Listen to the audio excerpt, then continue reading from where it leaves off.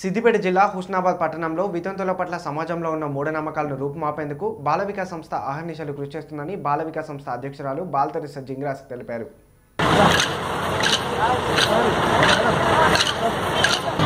Friday ఇక్కడ చాలా పెద్ద గ్యాదరింగ్ ఉంటుంది